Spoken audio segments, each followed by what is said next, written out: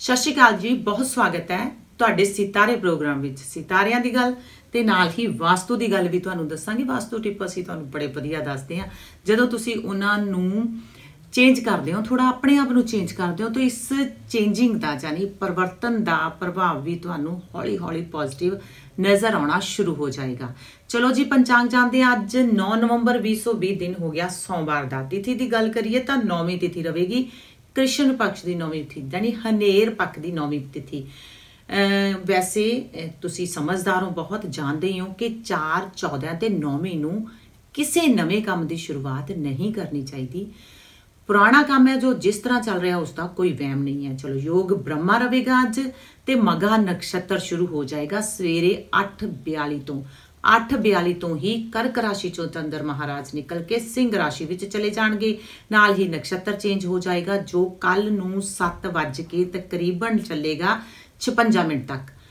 ਅੱਜ 8:42 ਤੋਂ ਬਾਅਦ ਤੇ ਕੱਲ 7 ਵਜੇ ਕੇ 56 ਮਿੰਟ ਤੱਕ ਜਨਮ ਲੈਣ ਵਾਲੇ ਬੱਚੇ ਨੂੰ ਗੰਡ ਮੂਲ ਦੀ ਪੂਜਾ ਲੱਗੇਗੀ। ਜੋ ਚੰਦਰਮਾ ਸਿੰਘ ਰਾਸ਼ੀ ਵਿੱਚ ਕੀ ਪ੍ਰਭਾਵ ਪਾਉਣਗੇ, ਇਸ ਬਾਰੇ ਤੁਹਾਨੂੰ ਜਾਣਕਾਰੀ ਦਿੰਨੇ ਆ ਤੇ ਵਾਸਤੂ ਦੇ ਮੁਤਾਬਕ ਵੀ ਤੁਹਾਨੂੰ ਦੱਸਾਂਗੇ ਐਂਡ ਵਿੱਚ ਤੇ ਅੱਜ ਦੇ ਦਿਨ ਦਾ ਪ੍ਰਭਾਵ ਤੇ ਉਸ ਦਾ ਉਪਾਅ ਵੀ ਦੱਸਾਂਗੇ। ਚਲੋ ਜੀ, ਸਭ ਤੋਂ ਪਹਿਲਾਂ ਐਰੇਜ ਯਾਨੀ ਮੇਸ਼ ਰਾਸ਼ੀ ਵਾਲਿਆਂ ਦਾ ਅੱਜ ਦਾ ਦਿਨ ਕਿਸ ਤਰ੍ਹਾਂ ਦਾ ਜਾਵੇਗਾ? ਦੇਖੋ ਚੰਦਰ ਮਹਾਰਾਜ ਸੂਰਜ ਦੇ ਘਰ ਵਿੱਚ ਸੂਰਜ ਜੋ ਕਿ ਚੰਦਰ ਦਾ ਮਿੱਤਰ ਹੀ ਹੈ, ਪਰ ਚੰਦਰ ਨੇ ਸੂਰਜ ਤੋਂ ਹੀ ਰੋਸ਼ਨੀ ਲੈ ਕੇ ਆਪਣੇ ਪ੍ਰਕਾਸ਼ ਨੂੰ ਬਿਰਾਜਮਾਨ ਰੱਖਣਾ ਤੇ ਮਨ ਦਾ ਕਾਰਕ ਹੈ।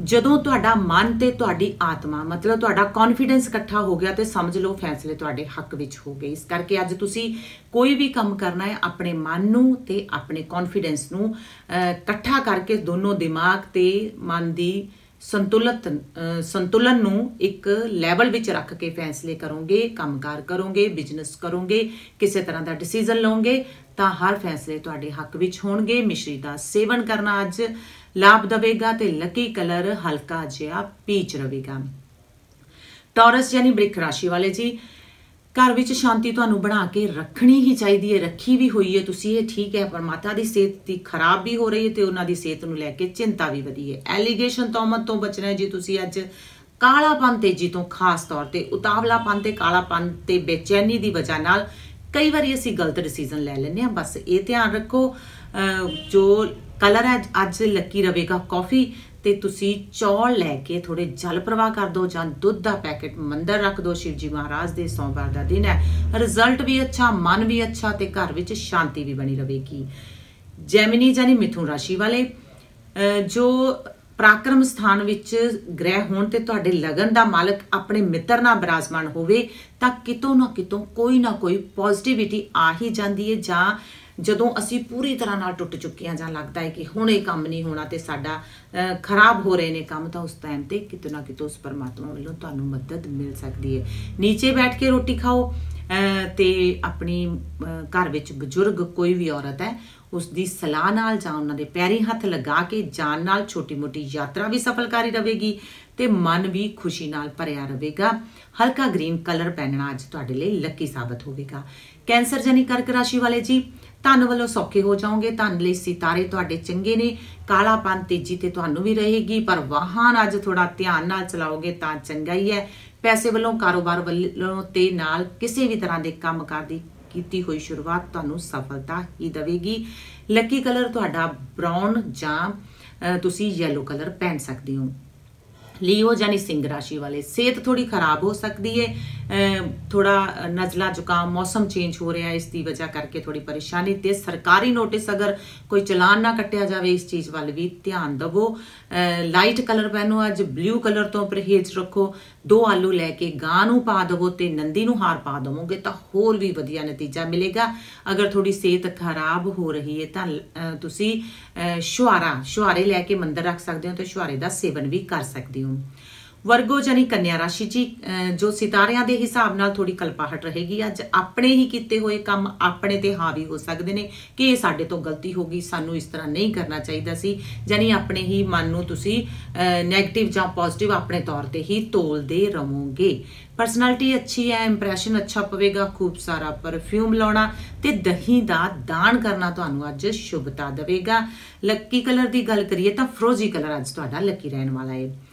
ਲਿਬਰਾ ਜਾਨੀ ਤੁਲਾ ਰਾਸ਼ੀ ਵਾਲੇ ਜੀ, ਇਨਕਮ ਦੇ ਸੋਰਸਸ ਵੱਧ ਸਕਦੇ ਨੇ, ਛੋਟੇ-ਮੋਟੇ ਕੰਮ ਕਈ ਵਾਰੀ ਅਸੀਂ ਸੋਚਦੇ ਹਾਂ ਕਿ ਕੀਤੇ ਜਾਣ ਜਿਹਦੇ ਨਾਲ ਇਨਕਮ ਵਧਾਈ ਜਾਵੇ। ਖਾਸ ਤੌਰ ਤੇ ਟਿਊਸ਼ਨਸ ਵਗੈਰਾ ਤੁਸੀਂ ਲੈ ਸਕਦੇ ਹੋ, ਪੜ੍ਹਾਈ ਨਾਲ ਸੰਬੰਧਿਤ ਕੰਮ ਕਰ ਸਕਦੇ ਹੋ ਸਿਤਾਰੇ ਤੁਹਾਡਾ ਸਾਥ ਦੇਣਗੇ। ਧਿਆਨ ਰੱਖੋ ਬੈਕ ਪੇਨ ਤੰਗ ਕਰ ਸਕਦੀ ਹੈ, ਪਿੱਠ ਵਿੱਚ ਦਰਦ ਤੰਗ ਕਰ ਸਕਦਾ ਹੈ, ਕਿਉਂਕਿ ਨੀਚ ਦਾ ਸੂਰਜ ਲਗਨ ਵਿੱਚ ਬਿਰਾਜਮਾਨ ਹੈ। ਅਗਰ ਸਕਿਨ ਪ੍ਰੋਬਲਮ ਤੰਗ ਕਰ ਰਹੀ ਹੈ, ਤਾਂ ਸੂਰਜ ਸ਼ੁੱਕਰ ਦੇ ਘਰ ਵਿੱਚ ਹੈ, ਸ਼ੁੱਕਰ ਚਮੜੀ ਦਾ ਕਾਰਕ ਹੈ ਥੋੜੀ ਅਲਰਜੀ ਜਾਂ ਖਾਰਸ ਹੋ ਰਹੀ ਹੈ, ਤਾਂ ਸ਼ੁੱਕਰ ਨੂੰ ਸਹੀ ਕਰੋ। ਦਹੀਂ ਮਲ ਕੇ ਨਾ ਉਤੇ ਗਾਂ ਨੂੰ ਰੋਜ਼ ਰੋਟੀ ਪਾਓ, ਸ਼ੁੱਕਰ ਅੱਛਾ ਹੋ ਜਾਏਗਾ। ਜਾਂ ਚਰੀ ਬਾਜਰਾ ਵੀ ਤੁਸੀਂ ਧਾਰਮਿਕ ਸਥਾਨ ਤੇ ਰੱਖ ਸਕਦੇ ਹੋ। ਲੱਕੀ ਕਲਰ ਆਫ ਵਾਈਟ ਰਹੇਗਾ। ਸਕੋਰਪੀਓ ਜਾਨੀ ਬ੍ਰਿਸ਼ਚਿਕ ਰਾਸ਼ੀ ਵਾਲੇ। ਧਾਰਮਿਕ ਕੰਮ ਤੇ ਹਮੇਸ਼ਾ ਸਫਲਤਾ ਦੇ ਜਾਂਦੇ ਨੇ, ਮਨ ਨੂੰ ਸ਼ਾਂਤੀ ਵੀ ਦਿੰਦੇ ਨੇ। એનર્ਜੀ ਤੁਹਾਡੀ ਅੱਛੀ ਹੈ, ਕੇਤੂ ਲਗਨ ਵਿੱਚ ਹੈ ਤੇ ਕੇਤੂ ਦਾ ਹੀ ਨਕਸ਼ਤਰ ਚੱਲ ਰਿਹਾ ਅੱਜ। ਭੱਜ ਦੌੜ ਕਾਫੀ ਜ਼ਿਆਦਾ ਭੱਜ ਦੌੜ, ਫਿਰ ਵੀ ਜ਼ਿਆਦਾ ਰਿਜ਼ਲਟ ਅੱਛਾ ਨਹੀਂ ਮਿਲੇਗਾ, ਕਿਉਂਕਿ ਕੇਤੂ ਤੇ ਰਾਹੂ ਜੋ ਨੇ ਇੱਕ ਦੂਸਰੇ ਦੀ ਦ੍ਰਿਸ਼ਟੀ ਜੋ ਹੈ ਤੇ ਸੂਰਜ ਵੀ ਬਾਹਰ ਯਾਨੀ ਕਿ ਵਾਧੂ ਦੇ ਉਲਝੇਵੇਂ ਵਾਧੂ ਦੀ ਪਰੇਸ਼ਾਨੀ ਦਿਮਾਗ ਤੇ ਬੋਝ ਤੇ ਗੱਡੀ ਨੂੰ ਝਰੀਟਾਂ ਜੋ ਲੱਗ ਗਈਆਂ ਨੇ ਜਾਂ ਲੱਗਣ ਵਾਲੀਆਂ ਨੇ ਤੇ ਕੰਮ ਦਾ ਰਿਜ਼ਲਟ ਜ਼ਿਆਦਾ ਅੱਛਾ ਨਹੀਂ ਐਦਾਂ ਦੀ 네ਗੇਟਿਵਿਟੀ ਜਹੀ ਤੁਹਾਡੇ ਦਿਮਾਗ ਤੇ ਹਾਵੀ ਰਹੇਗੀ। ਕੋਸ਼ਿਸ਼ ਕਰੋ ਅੱਜ ਸਫੇਦ ਚੀਜ਼ ਦਾ ਸੇਵਨ ਨਾ ਕਰੋ, ਖਾਸ ਤੌਰ ਤੇ ਰਾਤ ਨੂੰ ਮੱਥੇ ਤੇ ਕੇਸਰ ਲਗਾਓ ਤੇ ਲੱਕੀ ਕਲਰ ਯੈਲੋ ਪਹਿਨੋ। ਬ੍ਰਹਸਪਤ ਦਾ ਸਾਥ ਚੰਦਰ ਤੇ ਸ਼ਨੀ ਤੋਂ ਦੂਰੀ ਤੁਹਾਨੂੰ ਪੋਜ਼ਿਟਿਵਿਟੀ ਦੇ ਜਾਏਗੀ। ਸੈਜੀਟੇਰੀਅਸ ਧਨੁ ਰਾਸ਼ੀ ਵਾਲੇ ਜੀ ਗ੍ਰਹਿਾਂ ਦੇ ਹਿਸਾਬ ਦੇ ਨਾਲ ਅੱਜ ਦੇ ਦਿਨ ਨੂੰ ਤੁਸੀਂ ਬਹੁਤ ਅੱਛਾ ਬਣਾ ਸਕਦੇ ਹੋ, ਕਿਉਂਕਿ ਬ੍ਰਹਸਪਤ ਦੀ ਚੰਦਰਮਾ ਤੇ ਨੌਵੀਂ ਦ੍ਰਿਸ਼ਟੀ ਪੈ ਰਹੀ ਹੈ ਤੇ ਬ੍ਰਹਸਪਤ ਤੁਹਾਡੇ ਲਗਨ ਵਿੱਚ ਬਿਰਾਜਮਾਨ ਹੈ ਬ੍ਰਹਸਪਤ ਤੇ ਚੰਦਰ ਤੁਹਾਨੂੰ ਚੰਗਾ ਕੌਨਫੀਡੈਂਸ ਦੇਣਗੇ, ਚੰਗੇ ਰਸਤੇ ਬਣਾਉਣਗੇ, ਪੜ੍ਹਾਈ ਵਿੱਚ ਮਨ ਲਾ ਕੇ ਪੜ੍ਹਾਈ ਕਰੋਗੇ ਤਾਂ ਚੰਗੇ ਨਤੀਜੇ ਵੀ ਮਿਲਣਗੇ। ਤੁਹਾਡੇ ਤੇ ਡਿਪੈਂਡ ਕਰਦਾ ਤੁਸੀਂ ਕਿਸ ਚੀਜ਼ ਨੂੰ ਕਿੰਨਾ ਟਾਈਮ ਦੇ ਰਹੇ ਹੋ, ਕਿੰਨੀ ਮਿਹਨਤ ਕਰ ਰਹੇ ਹੋ ਤੇ ਕਿੰਨਾ ਅੱਛਾ ਰਿਜ਼ਲਟ ਤੁਹਾਨੂੰ ਮਿਲ ਰਿਹਾ ਹੈ। ਗਊਸ਼ਾਲਾ ਹਰਾ ਚਾਰਾ ਪਾ ਸਕਦੇ ਹੋ, ਲੱਕੀ ਕਲਰ ਤੁਹਾਡਾ ਮਸਟਰਡ ਰਹੇਗਾ। ਯਾਤਰਾ ਟਾਲ ਹੀ ਦੇਣੀ ਚਾਹੀਦੀ ਹੈ, ਧਾਰਮਿਕ ਕੰਮਾਂ ਵਿੱਚ ਰੁਚੀ ਪੋਜ਼ਿਟਿਵਿਟੀ ਹੀ ਵਧਾਏਗੀ। ਕੈਪਰੀਕੌਨ ਮਕਰ ਰਾਸ਼ੀ ਵਾਲੇ ਭਵਿੱਖ ਨੂੰ ਲੈ ਕੇ ਭਾਵੇਂ ਤੁਹਾਡੀਆਂ ਚਿੰਤਾਵਾਂ ਨੇ, ਪਰ ਫਿਰ ਵੀ ਤੁਹਾਡਾ ਕੌਨਫੀਡੈਂਸ ਅੱਛਾ ਰਹੇਗਾ। ਨਜ਼ਰਾਂ ਲੱਗ ਰਹੀਆਂ ਨੇ ਮੈਡੀਟੇਸ਼ਨ ਕਰਨ ਦੇ ਨਾਲ ਪੋਜ਼ਿਟਿਵਿਟੀ ਤੇ ਸਿਹਤ ਅੱਛੀ ਹੁੰਦੀ ਜਾਏਗੀ, ਵੱਡੇ ਲੋਕਾਂ ਨਾਲ ਸੰਬੰਧ ਮਨ ਨੂੰ ਖੁਸ਼ੀ ਹੀ ਦੇਣਗੇ। ਨਾਲ ਹੀ ਜੋ ਪੇਟ ਦੀ ਪ੍ਰੋਬਲਮ ਜਾਂ ਗੈਸ ਦੀ ਪ੍ਰੋਬਲਮ ਤੁਹਾਨੂੰ ਤੰਗ ਕਰ ਰਹੀ ਏ, ਤਾਂ ਇੱਕ ਨਾਰੀਅਲ ਰਹਿ ਕੇ ਅੱਜ ਤੁਸੀਂ ਮੰਦਰ ਚੜਾ ਸਕਦੇ ਹੋ। ਇਕੱਲੇ ਰਹਿਣਾ ਬਿਲਕੁਲ ਵੀ ਅੱਜ ਤੁਹਾਡੇ ਲਈ ਸਹੀ ਨਹੀਂ ਹੈ ਤੇ ਪਾਣੀ ਤੋਂ ਬਚ ਕੇ ਰਹੋ। ਪਾਣੀ ਦੀ ਵਜ੍ਹਾ ਕਰਕੇ, ਠੰਡੇ ਤੱਤੇ ਪਾਣੀ ਦੀ ਵਜ੍ਹਾ ਕਰਕੇ ਸਿਹਤ ਖਰਾਬ ਵੀ ਹੋ ਸਕਦੀ ਏ। ਲੱਕੀ ਕਲਰ ਅੱਜ ਤੁਹਾਡਾ ਰਹਿਣ ਵਾਲਾ ਏ ਜੀ। ਹਲਕਾ ਸਕਾਈ ਬਲੂ ਕਲਰ। ਅਕਿਊਰਸ ਯਾਨੀ ਕੁੰਭ ਰਾਸ਼ੀ ਵਾਲੇ ਜੀ, ਸ਼ੁਕਰ ਲੱਗਣ ਸ਼ੁਕਰ ਜੋ ਹੈ ਉਹ ਡਾਊਨ ਚੱਲ ਰਿਹਾ ਤੇ ਸ਼ੁਕਰ ਤੁਹਾਡੇ ਸੁਖ ਸਥਾਨ ਦਾ ਮਾਲਕ ਹੈ।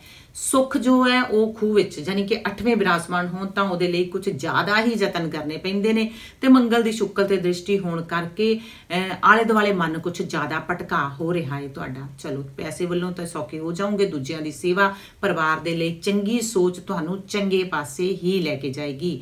ਕੋਸ਼ਿਸ਼ ਕਰੋ ਤੁਸੀਂ ਧਾਰਮਿਕ ਸਥਾਨ ਤੇ ਗਾਜਰਾਂ ਜਾਂ ਆਲੂਆਂ ਦਾ ਦਾਨ ਕਰੋ, ਕੱਚ ਦਾ ਗਲਾਸ ਬਿਲਕੁਲ ਯੂਜ਼ ਨਾ ਕਰੋ।